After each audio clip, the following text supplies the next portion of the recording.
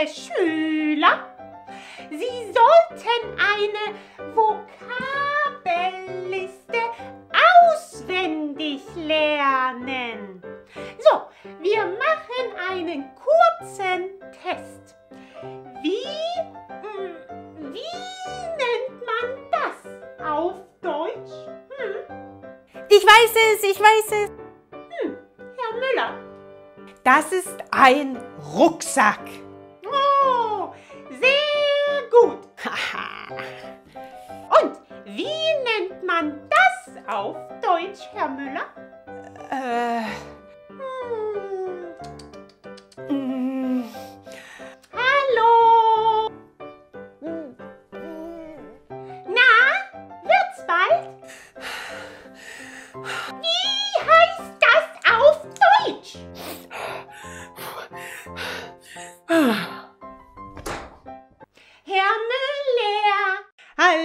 Alle zusammen. Ich habe großartige Neuigkeiten für dich. I have great news for you. Unser B1-Kurs ist fast fertig. Wow. So we have three levels now. We have A1 for beginners, A2 for pre-intermediate, and B1, this is the new one for intermediate. But I will tell you more about that later. In this video, I want to talk about the four secrets to learning German. Ooh, it's the 4M formula. Some of you guys might already know it, but for those of you who don't know what this is, I will explain you everything in this video because this is the formula that my German Academy is based on and it includes everything that you need to know to learn German successfully. Also, in the next video, I will give you a free sample lesson from my academy. Make sure to watch these videos soon because they will only be online for a limited time. First, a question for you. Eine Frage an dich. Warum willst du Deutsch lernen? Why do you want to learn German? Is it maybe because you want to travel through Germany? Willst du durch Deutschland reisen? Und hier zum Beispiel siehst du ein Schloss. Here you see a castle. So maybe you want to visit all these beautiful places in Germany. Or do you have German family or ancestors? Hast du Deutsche in deiner Familie oder einen deutschen Partner oder eine deutsche Partnerin? Yeah, maybe your partner is German. Or maybe it's just uh, for fun. Yeah, it's a challenge. You like learning languages like this grandpa. Ja, der Opa mag es, Sprachen zu lernen. This grandpa likes learning languages. Or maybe do you want to meet a hot German girl? For example, like her. Whatever it is, yeah, let me know in the comments. I will also remind you at the end of the video because I have a few questions for you. So, but unfortunately, often it's not that easy to learn German. Ja, es ist nicht so einfach Deutsch zu lernen. Probleme beim Deutschlernen. Problems when learning German. These are actually screenshots from my students. Yeah. So I want to learn German because I love the language and I also have a friend who lives in Germany. My biggest challenge is being lazy and, and becoming unmotivated. is this also your problem maybe? Ja, also Motivation. Motivation sagen wir auf Deutsch. Or Anja, is there an easier way to remember which one is accusative and which one is dative? Or I just have to memorize. So maybe these cases, accusative and dative, bring you a lot of problems. This girl wants to know what is the best way to memorize words and don't forget them. Yeah, so maybe this is also something you struggle with memory. The most challenging thing for me is to understand spoken German. It's so fast. I can usually understand what is said when I see it written, but people speak don't they? so maybe you also struggle with that, just understanding native speakers in real conversations. Looking at the workload just gets me confused. How do I go about it? So maybe you have so many things to learn German with apps and videos and books and teachers and whatever, and you just don't know really where to start, and it's just too much. Aha. Or another one, interessantes und didaktisches Material auf Deutsch und für deutsche Lernenden ist ein großes, ja, wir sagen großes, ein großes Problem, because it's das Problem, so it's neuter. Uh, so he's struggling to find good material. Another one, such a hard language to learn. Grammar's crazy, super crazy. So um, he or she is struggling with the grammar because it's just so difficult. Yeah, die schwierige deutsche Grammatik. Let me know what is your biggest challenge when learning German. Yeah, is it motivation? Is it what, what we saw? Yeah, the German grammar. Is it maybe speaking? Is it understanding? Whatever it is, let me know. So First of all, you need to know that there is a big problem with traditional teaching methods. Ja? Das Problem mit traditionellen Lehrmethoden. So, just like the teacher you saw in the introduction, some teachers still up to now focus a lot on grammar rules and vocabulary lists. And this is completely the wrong way to learn German. Das ist der falsche Weg, um Deutsch zu lernen. Okay, so they show you tables like this. This is, I, I love this picture, it's really funny. I have a PhD in quantum thermodynamics, but German grammar totally confuses me. And you see here the table, yeah, of all the articles. So here's masculine, feminine, neuter, and plural. And then you have nominative, accusative, dative, and genitive. And here you see all the confusion, yeah? der, den, dem, des, die, die, der, der, das, das, dem, des, die, die, den, der. Oh, whatever. But even if you're super intelligent, it is confusing. And this also is a funny picture German versus English. In English, you just see you, you, you, you, you, you, you, you, you. In German, it's du, dich, dir, sie, ihnen, ihr, euch. Whoa. Um, so definitely German grammar is not easy, but there is a way to learn it. And certainly the way to learn it is not to use tables like this. This is scary for me. I don't even understand some of this. It's insane. If teachers show you this, run away. Ja, renn weg. Weit, weit weg. so, unfortunately, that's not how it works because you just don't have the time in a conversation to think about all the rules. And you might feel clumsy while speaking German, are always translating in your head, and you're struggling with the grammar, cases, and sentence structure. And this is a funny picture how you also might feel when you thought you knew German and then you're in a real conversation.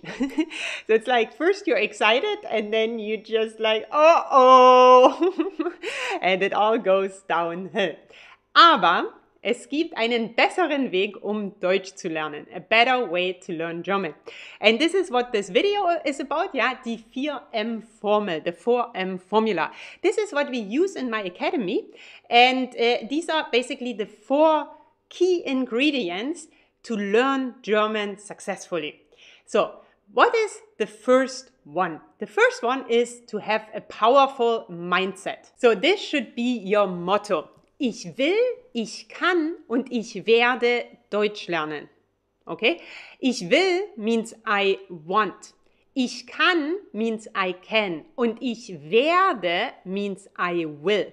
This is very important. Yeah, by the way, this is a false friend. Yeah, ich will doesn't mean I will, it means I want. So always remember this guy, how he goes up the stairs and thinks, ich will, ich kann, ich werde. So a few things about the right mindset. First of all, what's important for you, if you're starting or also if you're advanced, be comfortable with not understanding everything. Yeah, you won't understand 100% of every word you hear. Be patient. How do you say this in German? Be patient. Do you know that? We would say sei geduldig. Sei geduldig. That's very important. When I started, I also speak Spanish, French, and English, as you notice. And in the beginning, with Spanish, French, and also English, I got so frustrated because I couldn't understand. And I thought, oh my God, I'm never going to get this. I don't know what they're saying. So it is hard. It is hard learning a new language, but you need to be patient because your brain needs to get used to listening to a foreign language. Yeah, needs to get used to it. And by bit by bit by bit, you will understand more and more and more. Okay. Do not try to be perfect. Make mistakes and have fun. Ja? Fehler sind okay. Uh, mistakes, Fehler, are okay. Don't worry, keine Sorge. Don't worry about mistakes. They are natural. Even kids, when they start speaking a language, they also make mistakes. And you can too. Yeah? Kein Problem. Simplify. Use synonyms, simpler words, and mimic and gestures. So if you can't express something the way you want because you're translating in your head from English to German or your mother language to German, then just use simpler words. Use mimics, gestures. You can also use a translator. It's fine. Yeah.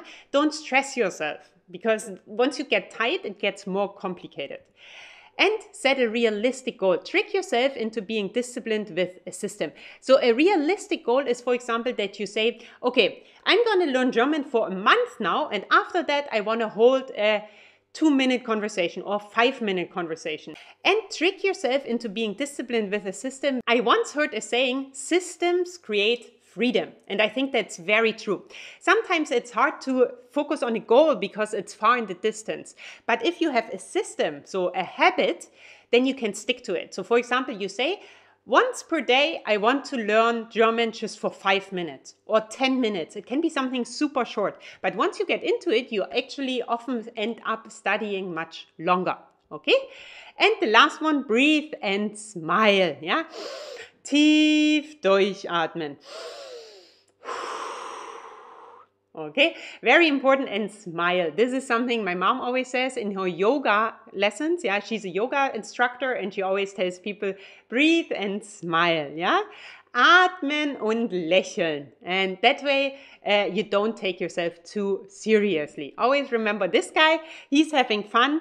Just shake it up if you make a mistake and keep going. Okay, next point is the SMART method. So what we use in our academy is a method called chunking. So let me explain what are chunks. Chunks are groups of words that can be found together in language. They can be words that always go together, such as fixed collocations, or that commonly do, such as certain grammatical structures that follow rules. I will just give you some examples. The most important thing is also when learning German is you that you stop translating and start observing. In a second, I will tell you what I mean with that. So, for example, in English you have the phrase, I am scared of dogs. Wie sagt man das auf Deutsch? How would you say this in German? If you translate literally, you might come up with something like this. Ich bin ängstlich auf Hunden. This is the literal translation.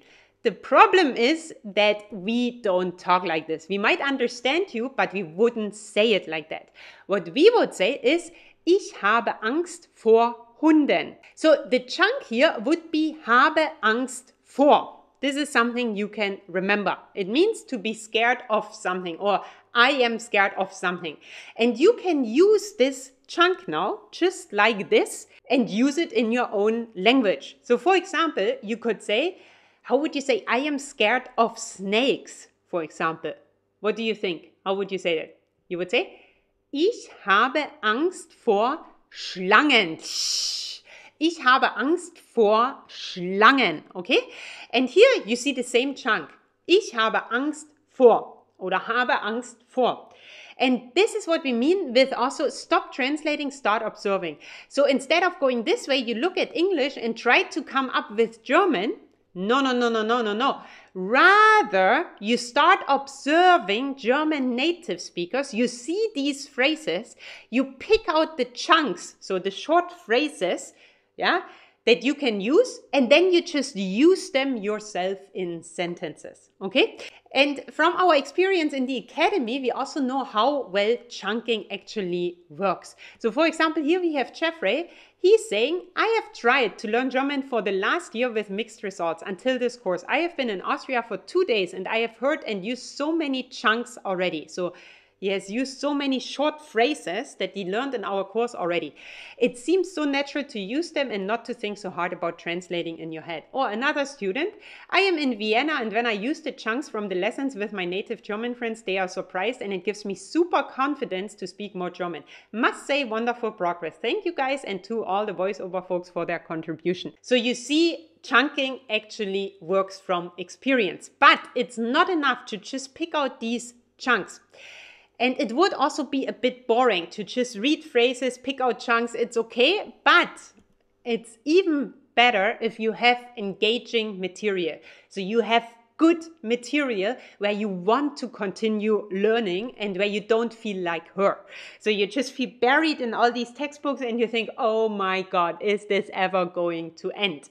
No, instead, you use engaging and real life dialogues. Yeah, the best is in video form, but because there you can also see the people talking, you can see their lips, how they pronounce things, and you also see the culture. Yeah, because you see the surroundings, you see where they are, how they act, how they everything, the mimics, gestures, and so on.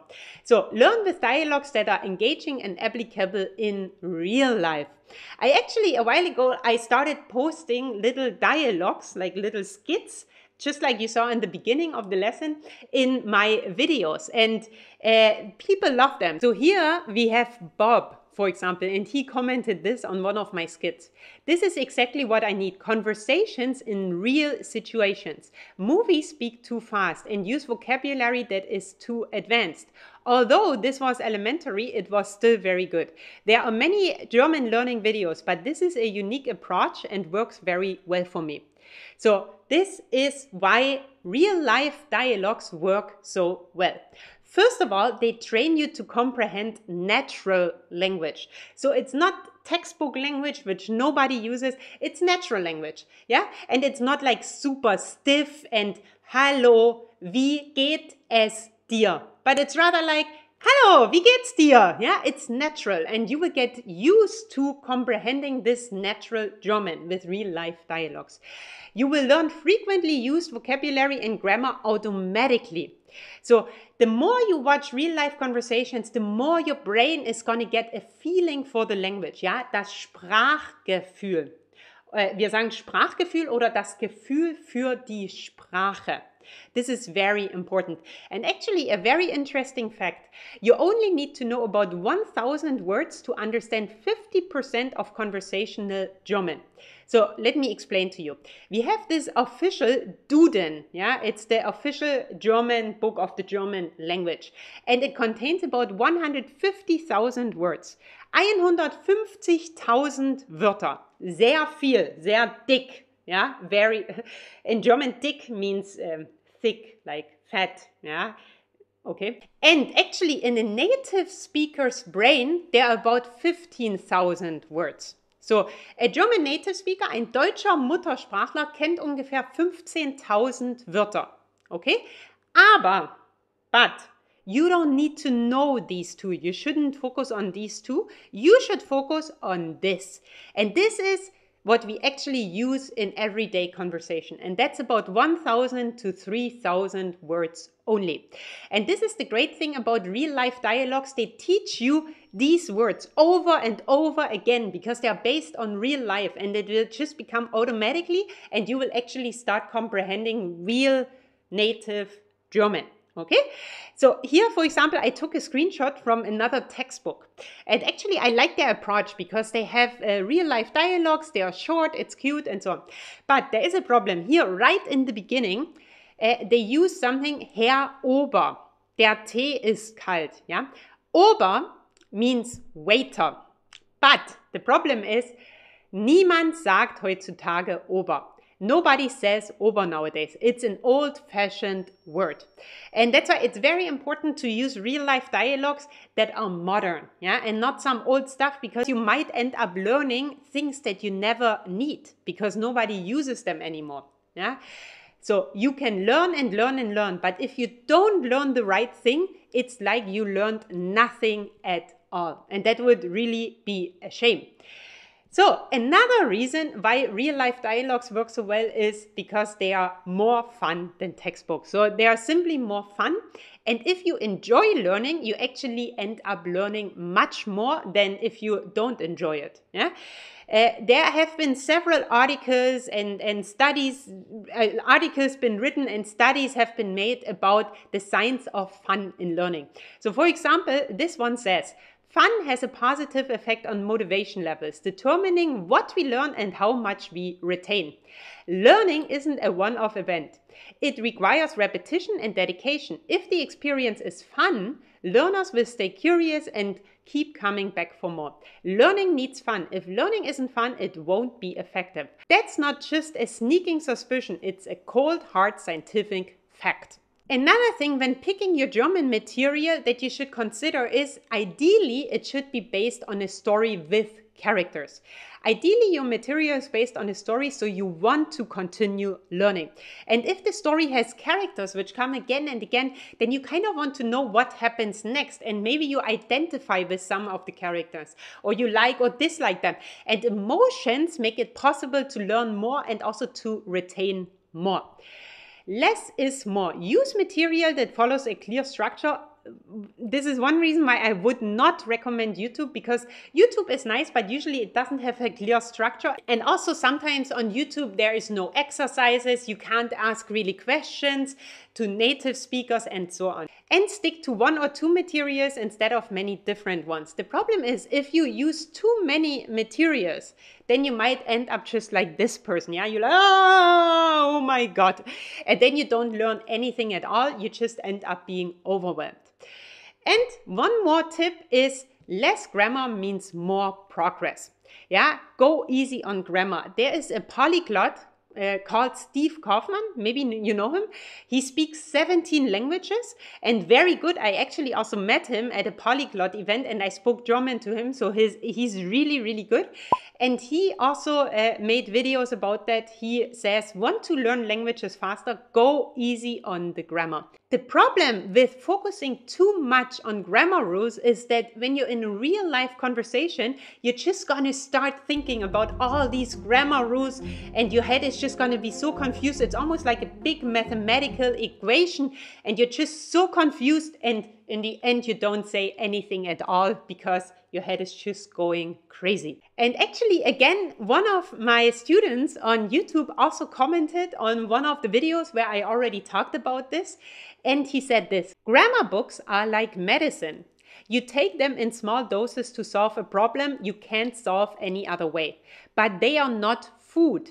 Feed yourself German and cure small problems with a dose of grammar from a book if needed. I absolutely love this comment. So always remember, feed yourself German. In my opinion, the best way to feed yourself German is with real life conversations and just use bits of grammar to solve some problems you come up with and where you need explanation. So, and the last secret on how to learn German successfully is about the long term memory. So, how can you, all these things you learned, the chunks and the vocabulary and the grammar and the phrases, how can you make them stick in your long term memory? Maybe you've experienced this before when you can't think of the right German word and you just feel a bit embarrassed because you think, oh my God, how do you say, wie sagt man das? Wie sagt man das? How do you say this? Um, but there is a solution to this. And the best way I have encountered is to review these patterns over and over again. And there is a system called the spaced repetition system. Maybe you've heard of it before. It's been proven to be the best way to review vocabulary, chunks, phrases, anything of that matter, yeah? And what this system does is basically it usually works with an app and with flashcards, for example, and the app reminds you when you have to review a certain uh, word or phrase, yeah? And the time when you have to review them gets bigger and bigger and bigger. And this way you make sure that it enters your long-term memory. So Repeat, repeat, repeat, repeat, repeat. Repetition is really the mother of all skills. Repetition helps to improve speed, increases confidence, and strengthens the connections in the brain that help us learn a new language.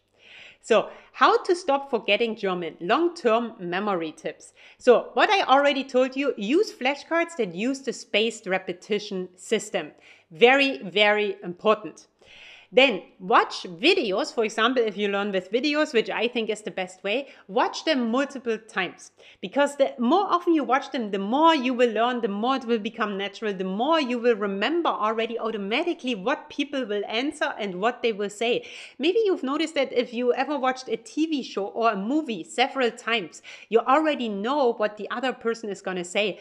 And this can also be helpful for learning languages. Okay? Listen, watch while doing other things, sports, driving, and so on.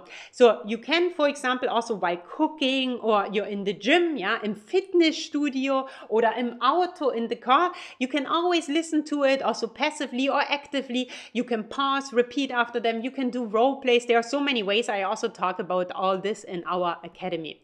Yeah. And the last step, very important, use what you learned in exercises, speaking, writing exercises, and so on.